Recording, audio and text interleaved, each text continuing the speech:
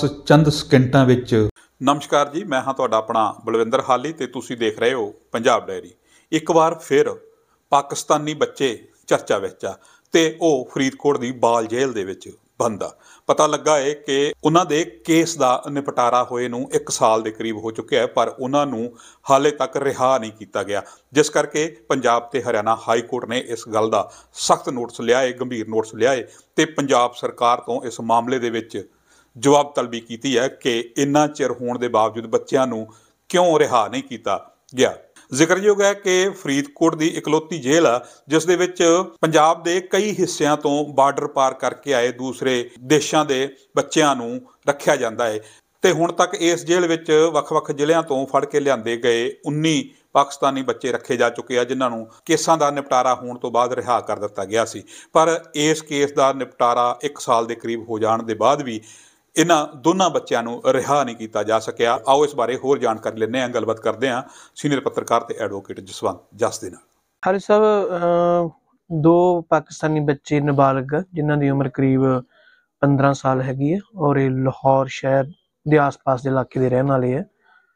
ਆਬਾਜ਼ ਤੇ ਹਸਨ ਅਲੀ ਇਹਨਾਂ ਦਾ ਜਿਹੜਾ ਨਾਮ ਹੈਗਾ 1 ਸਤੰਬਰ 2022 ਨੂੰ ਇਹ ਬੱਚੇ ਬਾਰਡਰ ਕ੍ਰਾਸ ਕਰ ਗਏ ਸੀ।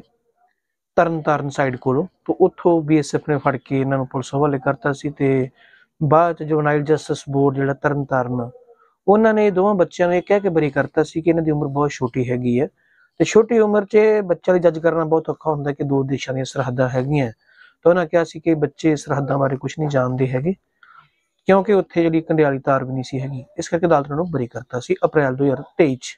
ਪਰ ਇੱਕ ਸਾਲ ਬੀਤ ਜਾਣ ਦੇ ਬਾਵਜੂਦ ਉਹ ਫਰੀਦਕੋਟ ਦੇ ਜੁਵਨਾਈਲ ਜਿਹੜਾ ਇੱਥੇ ਹਾਊਸ ਹੈਗਾ ਆਬਜ਼ਰਵੇਸ਼ਨ ਹੋਮ ਆ, ਉੱਥੇ ਬੱਚੇ ਰਹਿ ਰਹੇ ਆ, ਔਰ ਉਹਨਾਂ ਦੀ ਦੇਸ਼ ਵਾਪਸੀ ਨਹੀਂ ਹੋ ਰਹੀ, ਪਾਕਿਸਤਾਨ ਉਹਨਾਂ ਨੂੰ ਵਾਪਸ ਨਹੀਂ ਭੇਜਿਆ ਜਾ ਰਿਹਾ। ਇਹ ਪਹਿਲੀ ਵਾਰੀ ਹੋਇਆ ਕਿ ਸਰਕਾਰ ਨੇ ਇੰਨੀ ਦੇਰ ਲਾਈ ਹੈ, ਜਿਹਦੇ ਪਿਛਲੇ 20 ਸਾਲ ਦਾ ਰਿਕਾਰਡ ਰਿਹਾ ਕਿ ਬਹੁਤ ਸਾਰੇ ਕੇਸਾਂ ਜਿਵੇਂ ਨਾਸਰ ਸੁਲਤਾਨ ਦਾ ਤੁਹਾਡੇ ਧਿਆਨ 'ਚ ਹੋਵੇ, ਕਿ ਉਹਨੂੰ ਚੱਲਦੇ ਟ੍ਰਾਇਲ 'ਚ ਸਰਕਾਰ ਨੇ ਵਾਪਸ ਭੇਜਤਾ ਸੀ ਕੇਸ ਕੇਸ ਚੱਲ ਰਿਹਾ ਸੀ, ਪਰ ਸਰਕਾਰ ਨੇ ਕਿਹਾ ਵੀ ਨਹੀਂ, ਸਾਨੂੰ ਇਸ ਬੱਚੇ ਦੀ ਲੋੜ ਨਹੀਂ, ਉਹਨੂੰ ਵਾਪਸ ਭੇਜਤਾ ਸੀ। ਇੱਥੇ ਹੁਣ ਬਿਲਕੁਲ ਉਲਟ ਹੈ ਕਿ ਬੱਚੇ ਬਰੀ ਹੋ ਗਏ ਉਹਨਾਂ ਨੂੰ ਭੇਜਿਆ ਨਹੀਂ ਗਿਆ। Justice N S Shekhawat high court ਦੇ ਜਿਹੜੇ ਆਪਣੇ ਇਨਸਪੈਕਟਿੰਗ ਜੱਜ ਹੈਗੇ ਆ, ਉਹ ਕੁਝ ਦਿਨ ਪਹਿਲਾਂ ਫਰੀਦਕੋਟ ਆਏ ਸੀ ਔਰ ਉਹਨਾਂ ਨੇ ਜੁਮਨਾਈਲ ਹੋਮ ਦਾ ਵੀ ਦੌਰਾ ਕੀਤਾ ਸੀ। ਉੱਥੇ ਦੋਵੇਂ ਪਾਕਿਸਤਾਨੀ ਬੱਚੇ ਜਿਹੜੇ ਆ, ਜਸਟਿਸ ਐਨਐਸ ਸ਼ਿਖਾਵਤ ਸਾਹਮਣੇ ਪੇਸ਼ ਹੋਏ ਸੀ। ਔਰ ਉਹਨਾਂ ਨੇ ਉੱਥੇ ਪਹੁੰਚ ਕੇ ਜਿਹੜਾ ਮਾਮਲਾ ਫੁੱਲ ਕੋਰਟ ਦੇ ਸਪੁਰਦ ਕੀਤਾ ਸੀ। ਤੇ ਜਿਹੜੇ ਪੰਜਾਬ ਦੇ ਹਰਿਆਣਾ ਹਾਈ ਕੋਰਟ ਦੇ ਚੀਫ ਜਸਟਿਸ ਹੈਗੇ ਆ ਆਨਰੇਬਲ ਜਸਟਿਸ ਰਿਤੂ ਬੈਰੀ ਉਹਨਾਂ ਨੇ ਇਹਨੂੰ ਕਾਫੀ ਸੀਰੀਅਸ ਲਿਆ ਹੈਗਾ ਔਰ ਉਹਨਾਂ ਨੇ ਪੰਜਾਬ ਸਰਕਾਰ ਨੂੰ ਸੋ ਮੋਟੋ ਨੋਟਿਸ ਜਾਰੀ ਕੀਤਾ ਹੈ ਕਿ ਜਦੋਂ 1 ਸਾਲ ਉਹਨੂੰ ਬਰੀ ਹੋਏ ਨੂੰ ਹੋ ਗਿਆ, ਇਸ ਫੈਕਟ ਦੇ ਬਾਵਜੂਦ ਬੱਚੇ ਜੇਲ੍ਹ 'ਚ ਬੈਠੇ ਆ ਤੇ ਉਹਨਾਂ ਦੀ ਵਾਪਸੀ ਜਿਹੜੀ ਆ ਉਹ ਮਤਲਬ ਤੈਅ ਕਿਉਂ ਨਹੀਂ ਕੀਤੀ, ਤੈਅ ਸਮੇਂ ਵਿੱਚ ਕਿਉਂ ਨਹੀਂ ਹੋਈ? ਤਾਂ ਹੁਣ ਸਰਕਾਰ ਨੇ 26 ਫਰਵਰੀ ਤੱਕ ਦਾ ਟਾਈਮ ਮੰਗਿਆ। ਨਾਲ ਹੀ ਜਿਹੜੇ ਸਰਕਾਰ ਵੱਲੋਂ ਪੇਸ਼ ਐਡਵੋਕੇਟ ਜਨਰਲ ਸਹਿਜਵੀਰ ਸਿੰਘ ਹੋਏ ਪੇਸ਼ ਹਾਈ ਕੋਰਟ 'ਚ ਨੇ ਕਿਹਾ ਕਿ ਇਹਨਾਂ ਦੀ ਭਾਰਤ ਤੋਂ ਪਾਕਿਸਤਾਨ ਵਾਪਸੀ ਲਈ ਜਿਹੜੀ ਹੈਗੀਆਂ ਸਰਕਾਰੀ ਪੱਧਰ ਤੇ ਕੋਸ਼ਿਸ਼ਾਂ ਚੱਲ ਰਹੀਆਂ ਹੈਗੀਆਂ ਔਰ ਇਹ ਸੰਭਾਵਨਾ ਹੈਗੀ ਕਿ ਸ਼ਾਇਦ ਹਾਈ ਕੋਰਟ 'ਚ ਪੇਸ਼ੀ ਤੋਂ ਪਹਿਲਾਂ ਇਹ ਬੱਚੇ ਜਿਹੜੇ ਆ ਉਹ ਵਾਪਸ ਚਲੇ ਜਾਣ ਪਹਿਲਾਂ ਵੀ ਇਸ ਤਰ੍ਹਾਂ ਹੋਈਆਂ ਫਰੀਦਕੋਟ ਜੇਲ੍ਹ ਤੋਂ ਰਿਹਾਈਆਂ?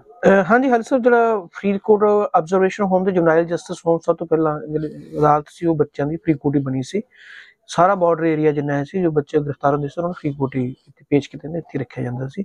ਹੁਣ ਤੱਕ ਇਹ ਪਤਾ ਲੱਗਾ ਕਿ 19 ਬੱਚੇ ਜਿਹੜੇ ਉਹ ਜਿਹੜੇ ਇੱਥੇ ਆਏ ਆ ਔਰ ਉਹਨਾਂ 19 ਚੋਂ ਕਿਸੇ ਨੂੰ ਵੀ ਸਜ਼ਾ ਨਹੀਂ ਹੋਈ। ਸਾਰੇ ਬੱਚੇ ਜਿਹੜੇ ਅਕਵਿਟ ਕੀਤੇ ਗਏ ਬਰੀ ਕੀਤੇ ਗਏ ਆ ਜੁਵਨਾਈਲ ਜਸਟਿਸ ਬੋਰਡ ਵੱਲੋਂ। ਔਰ ਸਾਰੇ ਆ ਜਿਹੜੇ ਬਹੁਤ ਤੈਅ ਸਮੇਂ ਦੇ ਵਿੱਚ ਜਿਹੜੇ ਬੱਚੇ ਉਹ ਵਾਪਸ ਭੇਜੇ ਗਏ ਆ। ਤਾਂ ਇਹ ਇਹ ਪਹਿਲੀ ਵਾਰੀ ਪਤਾ ਨਹੀਂ ਇਹ ਐਡਾ ਵੱਡਾ ਫਲਾ ਕਿੱਥੇ ਰਿਹਾ ਕਿਉਂਕਿ ਇਸ ਮਾਮਲੇ 'ਚ ਤਾਂ ਜਿਹੜੀ ਭਾਰਤ ਸਰਕਾਰ ਬੜੀ ਲੀਨੀਅੰਟ ਹੈਗੀ ਹੈ ਕਿ ਜਿਹੜੇ ਬੱਚੇ ਹੈਗੇ ਉਹ ਕਿਸੇ ਵੀ ਤਰ੍ਹਾਂ ਮਤਲਬ ਇਸ ਤਰ੍ਹਾਂ ਨਹੀਂ ਇੱਥੇ ਜੇਲ੍ਹ 'ਚ ਰੱਖਿਆ ਜਾ ਸਕਦਾ। ਵੈਸੇ ਵੀ ਇੰਟਰਨੈਸ਼ਨਲ ਲਾਅ ਹੈਗਾ ਜਿਹੜਾ ਜਨਰਲ ਜਸਟਿਸ ਐਕਟ ਬਣਿਆ, ਉਹ ਸਾਰੀ ਦੁਨੀਆ 'ਚ ਕਾਨੂੰਨ ਹੈ ਕਿ ਜੇ ਕਿਸੇ ਦੇਸ਼ ਦਾ ਬੱਚਾ ਦੂਜੇ ਦੇਸ਼ 'ਚ ਗੈਰ ਤਰੀਕੇ ਨਾਲ ਜਾਂਦਾ ਤਾਂ ਉਹਨੂੰ ਕਿਵੇਂ ਡੀਲ ਕਰਨਾ। ਤਾਂ ਇੱਥੇ ਹੁਣ ਮਤਲਬ ਇੰਨਾ ਲੰਮਾ ਸਮਾਂ ਹੁਣ 10 ਮਹੀਨੇ ਤੋਂ ਵੱਧ ਹੋ ਗਿਆ, ਹਜੇ ਨਹੀਂ ਰਿਹਾ ਕੀਤਾ ਗਿਆ। ਬਟ ਇਹ ਲੱਗਦਾ ਕਿ ਆਉਣ ਵਾਲੇ ਦਿਨਾਂ 'ਚ ਬਾਕੀ ਬੱਚਿਆਂ ਨੂੰ ਇਹਨਾਂ ਨੂੰ ਵੀ ਜਿਹੜਾ ਹੈਗਾ, ਉਹ ਵਤਨ ਵਾਪਸ ਭੇਜ ਦਿੱਤਾ ਜਾਊਗਾ।